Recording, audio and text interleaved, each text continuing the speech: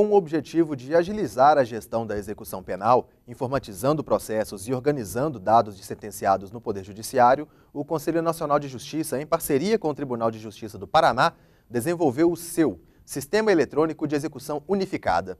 Esse sistema, que está sendo implantado em Minas Gerais, evita que uma pessoa fique presa além do previsto em lei. Saiba mais sobre o projeto. A comarca de Governador Valadares foi pioneira na implantação do seu Sistema Eletrônico de Execução Unificada no Estado. Para falar sobre os benefícios desse sistema, eu converso com o juiz auxiliar da presidência, Tiago Conago. Como é o funcionamento do seu?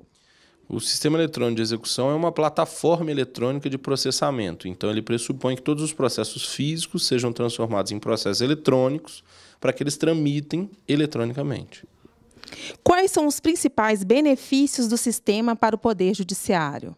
Bom, na ótica específica do cidadão, o, o sistema eletrônico pressupõe a agilização dos, dos procedimentos de modo a evitar a permanência indevida no cárcere.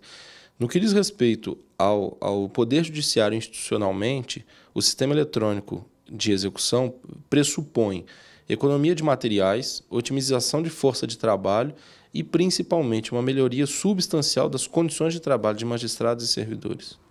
E quem pode acessar os dados disponíveis pelo sistema? É, o sistema tem uma, uma faceta pública que pode ser acessado por qualquer pessoa, já que os processos são públicos, e além disso ele tem uma, um perfil restrito para aquelas pessoas que atuam no processo: magistrados, servidores, membros da defesa social, advogados, defensores, promotores. Essas pessoas se manifestam no processo eletronicamente. Com a previsão de expandir o sistema para as demais comarcas do Estado?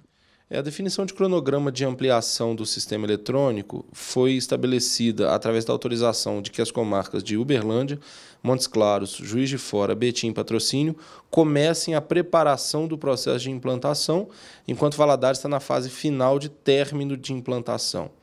É, assim que Valadares concluir a atividade de implantação, a presidência definirá qual dessas cinco, cinco comarcas receberá a, a implantação em primeiro plano.